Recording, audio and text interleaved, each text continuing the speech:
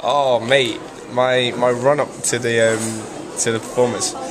My my diet, loads and loads of pasta and potatoes, and not forgetting this bad boy, and this, You gonna get paid for advertising? and some chocolate, baby, chocolate. That's what I'm eating.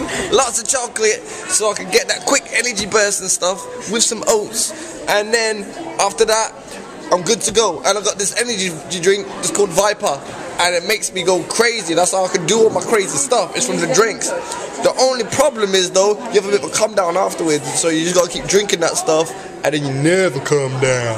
But but nah, it's, it's, it's good. It's a proper drink. Yeah, and that's that's my diet.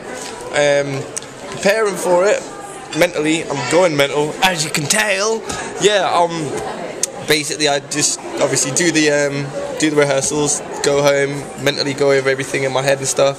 At the moment, I'm at a really tricky stage where I've got to put emotion into a lot of the stuff what I'm doing. So um, yeah, just going home and just trying to work on the emotive side of it, and maybe like facial expressions might even be just like hand placement and stuff, or even that might be enough. You, you never know. You know what I mean? So just that's that's pretty much it. Sleep patterns, man, it's crazy. Can you see how tired I am? I'm exhausted. Being upside upside down, yeah, for like what eight hours every day.